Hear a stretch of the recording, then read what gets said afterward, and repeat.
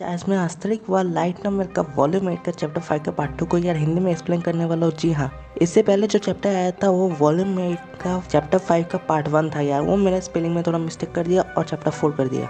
तो मैंने अभी वो देखा और मैंने उसे चेंज कर लिया।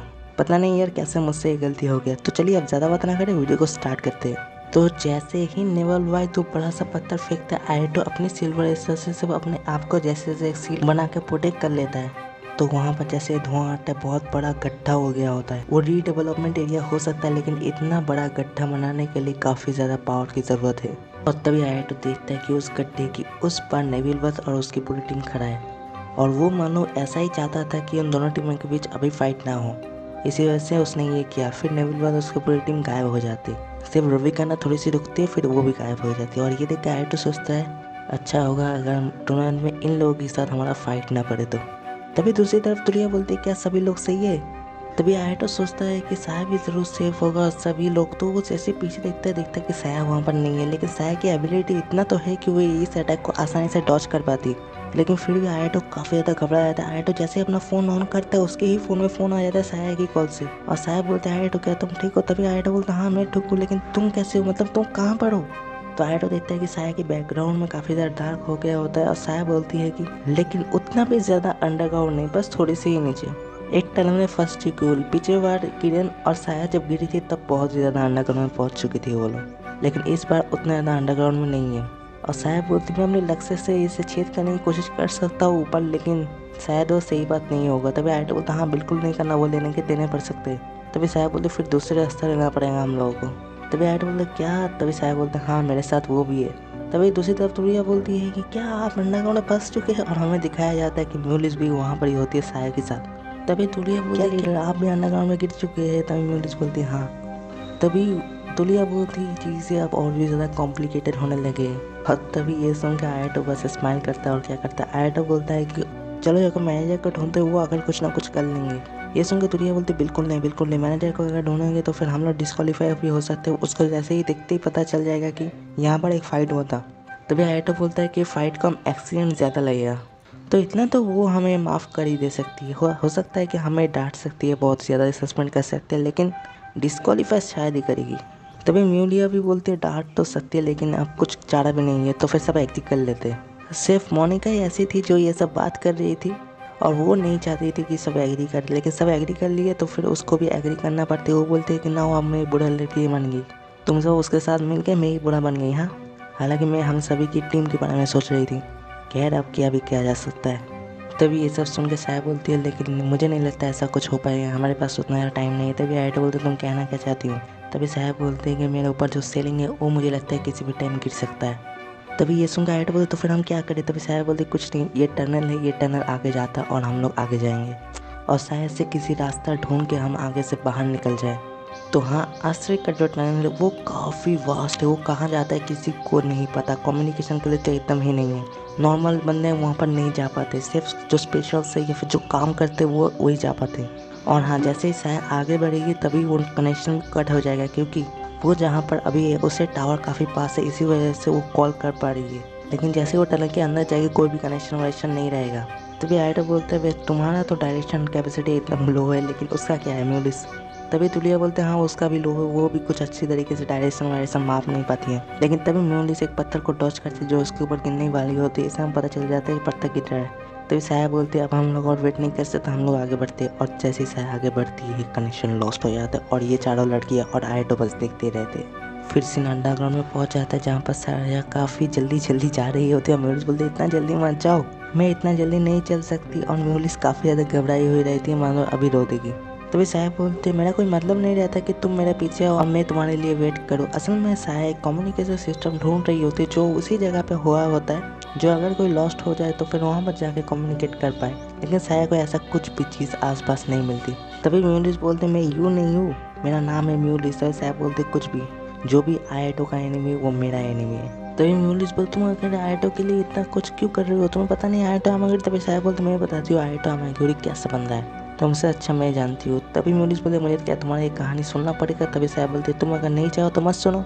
म्यूलिस बोलती है, नहीं नहीं, बताओ। तभी साहब बोलती है, चलते चलते। कि सात साल की उम्र में जब हम दोनों थे, हम लोग ऐसे प्रैक्टिस कर रहे, हारू की तरह। हारू के साथ मतलब आयटो की सिस्टर हारुका के साथ। तो हम लोग बहुत मेहनत कर रहे थे, तभी अचानक से साया देखती है, जाते जाते रास्ते में कुछ फुटप्रिंट्स है, जो कि रिसेंट फुटप्रिंट्स ही है।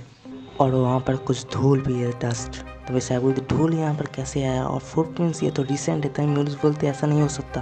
तो वैसे अपनी से ग्राउंड में टच करती है, सुनने के लिए कि क्या कुछ अजीब तो है। और तभी अचानक से एक सीक्रेट डोर ओपन हो जाता है और ये देख के म्यूज़िक घबरा जाती है। म्यूज़िक बोले, यहाँ पर एक सीक्रेट डोर क्या कर रही है यार? और तभी साया देखती कि थोड़ी सी ही दूर पे वो लोग जहाँ पर खड़े रहते उससे थोड़ी सी दूर में एक सिल्वर कलर का दरवाज़ा आया था। वो असल में एक एलिवेटर होता है। तो म्यूलिस और साया दोनों ही उस एलिवेटर की तरफ़ जाने लगते और साया इस पैरों के निशान को देख कर बोलते हैं कि ये रिसेंटली ये कोई पुराना पैरों के निशान नहीं है। और फिर म्यूलिस बोलती है, मैं काफ़ी ज़्यादा डरती हूँ, मैं काफ़ी ज़्यादा मॉन्स्टर से घबराती हूँ लेकिन अगर हम लोग कुछ नहीं करें तो हमारा कुछ नहीं होगा। क्या पता अगर आप ऐसे ही चलते रहे तो कब बाहर आएँगे? ये बोल के म्यूलिस बटन प्रेस कर देती है लिफ्ट का। वो सोचती है कि लिफ्ट को लेकर वो ऊपर चली जाएगी। और लिफ्ट के अंदर भी घुस जाता है, लेकिन लिफ्ट के अंदर सिर्फ़ एक ही बटन होता है तो म्यूलिस बोले क्या हम एक बटन प्रेस कर दे साया तभी साया बोलता है यहाँ पर आ ही गया है तो प्रेस कर दो। और वो प्रेस कर देता तभी म्यूलिस को थोड़ा टाइम लगता है रियलाइज़ करने के लिए। म्यूलिस और साया दोनों को ही कि क्या ये ऊपर जा रहा है? नहीं, ये लिफ्ट तो ऊपर नहीं जा रहा है, ये तो और भी नीचे जा रहा है। तभी तभी कुछ देर बाद वो लोग नीचे पहुँच जाते हैं और लिफ्ट का गेट ओपन हो जाता है। तो वो दोनों जैसे बाहर आते वो लोग देखते हैं कि एक बड़ा सा ग्राउंड है और ये असल में ग्राउंड नहीं ये असल में एक स्टेज है, जिसमें सिक्स पिलर से और उनमें से एक पिलर में ये लिफ्ट था। और उन पिलरों का हालत काफ़ी ख़राब है। और जैसे ही वो लोग ये थोड़े भी सोचते तभी देखते हैं लिफ्ट पीछे से बंद हो जाए लिफ्ट का कोई ओपन का बटन नहीं रहता। तो ये देखने में इंग्लिश और ज़्यादा घबरा जाती है, लेकिन सर्च करने लगती कि ये जगह असल में है क्या? और वो सोचती है कि ये एप्लिस तो नहीं, जो आयटो ने मेंशन किया था। तभी थोड़ा सा ढूँढने के बाद उसे एक टूटा हुआ ग्लास मिलता है, जो कि आई ग्लास होता है, चश्मा। और तभी उस चश्मे को उठा के उसके धूल साफ़ करके अपनी जेब में रख देती है। और दूसरी तरफ़ इंग्लिश बोलती है साया तुम मुझे छोड़कर कहाँ जा रहे हो? तभी साहब बोलते, मैं कहीं नहीं जा रहा हूँ, वैसे भी जा भी कहाँ सकता हूँ, मैं यहाँ पर ही हूँ। तो वो दोनों ढूँढने लगते हैं, हालाँकि उन लोगों को कहीं भी किसी भी जगह नहीं मिलता। वो स्टेडियम में वो लोग ढूंढ पाते और वो छः पिलर और जहाँ पर गैलरी है, जहाँ पर ऑडियंस बैठे, उनका और स्टेडियम का बीच में गैप है, जो काफ़ी बड़ा है और ये लोग जम करके उतना गैप को कवर नहीं कर पाएँगे। तभी साया म्यूलिस बैठ जाती है, तब, तभी म्यूलिस बोलते असल में ये सब स्टार्ट कैसे हुआ? तुम लोग एक दूसरे की बिज़नेस में घुस जाते हो अचानक से। तभी साया बोलते, रुको मुझे फिर से वो कहानी बताने दो। तभी म्यूलिस बोलता हाँ हाँ मुझे पता है, तुमने अभी अभी बताया आयटो हमारे कितना अच्छा हीरो है वो। तभी साहब बोलते अच्छा तुम्हें पता है तो फिर सही है, अच्छी बात है। तभी म्यूलिस बोलते, वैसे मुझे भूख लगा है, काफ़ी मैंने कुछ नहीं खाया, काफ़ी टाइम तक। तभी साहब बोलते, हम लोग कुछ कर भी नहीं सकते, हम लोग यहाँ पर वेट करते, जब तक कोई आके हम लोग को ढूंढ ना ले।